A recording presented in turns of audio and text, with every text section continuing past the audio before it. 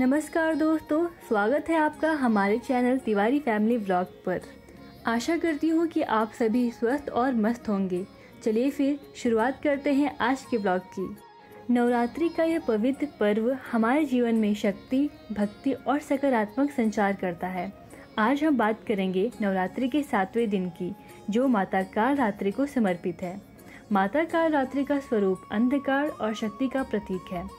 उनका रंग काला है, जो हमें यह दर्शाता है कि अंधकार में भी प्रकाश की किरण होती है।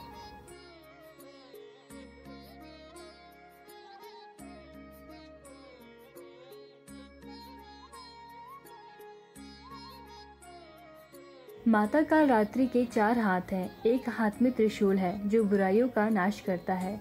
दूसरे हाथ में खड़क है, जो भक्तों को रक्षा प्रदान करता है।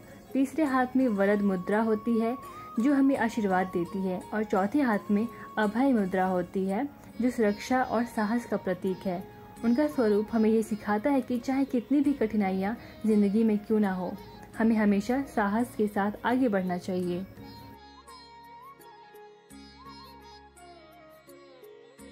इस दिन माता की विशेष पूजा की जाती है। भक्त काले तिल, उड़द की दाल और नारियल से उन्हें प्रसन्न करने की कोशिश करते हैं। पूजा का विधान इस प्रकार है कि भक्त उपवास रखते हैं और माता को फूल, फल और मिठाइयाँ अर्पित करते हैं। खासकर काले तिल का महत्व इस दिन विशेष रूप से होता है। इसे अर्पित करने से भक्तों को शक्ति और ऊर्जा मिलती है।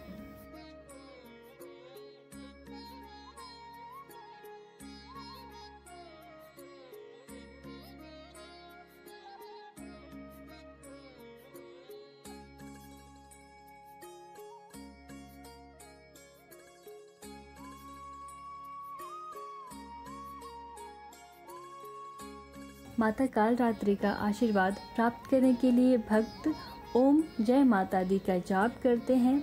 ये जाप न केवल मन को शांत करता है, बल्कि आत्मबल को भी बढ़ाता है। इस दिन भक्त हवन भी करते हैं, जिससे वातावरण में सकारात्मकता का संचार होता है। माता काल रात्रि हमें यह सिखाती है कि जीवन में चाहे कितनी भी कठिनाइयाँ क्यों ना आए, अगर हम सही इरादे और भक्ति के साथ आगे बढ़े तो सभी बाधाएँ दूर हो जाती हैं। इस दिन का महत्व केवल पूजा तक सीमित नहीं है, बल्कि ये हमें आत्मविश्वास और साहस देने का भी एक माध्यम है।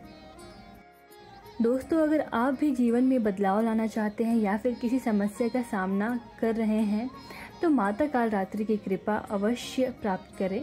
माता रानी की भक्ति से आपके सारे दुख दूर हो जाएँगे। दोस्तों, सुबह जल्दी उठकर मैंने अपनी दिनचर्या की शुरुआत की। सुबह के समय पूजा करना मेरी पहली प्राथमिकता होती है।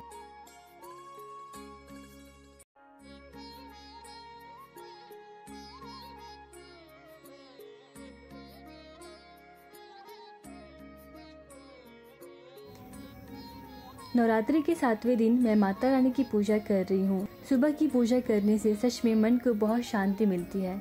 पूजा के बाद मैंने आरती की और उसे पूरे घर में घुमाया, जिससे घर में सकारात्मकता का संचार होता है और घर भी एकदम शुद्ध रहता है।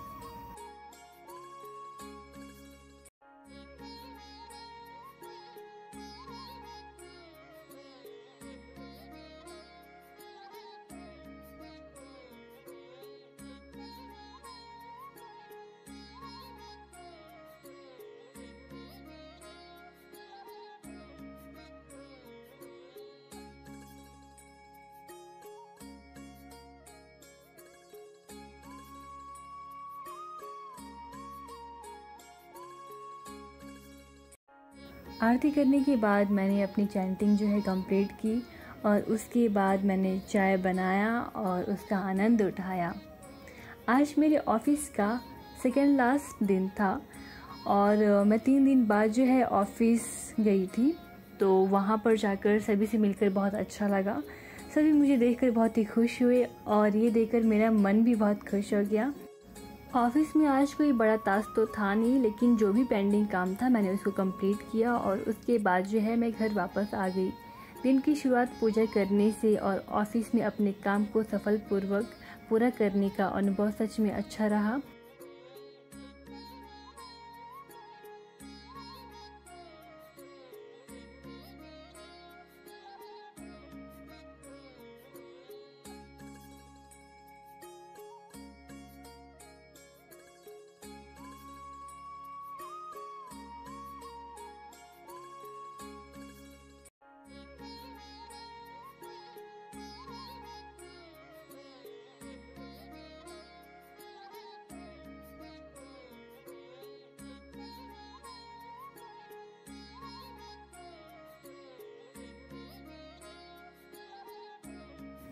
दोस्तों, ये वीडियो जो है माता काल रात्रि की जानकारी के बारे में था और थोड़ा बहुत जो है मेरे लाइफ अपडेट के बारे में भी था।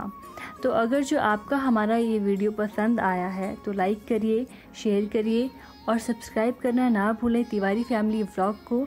अपने विचार कमेंट में ज़रूर साझा करें। चलिए, माता रानी का आशीर्वाद सभी पर बना रहे। मिलते हैं आपसे कल के व्लॉग में। Till then take care bye bye जय हिंद, जय माता दी।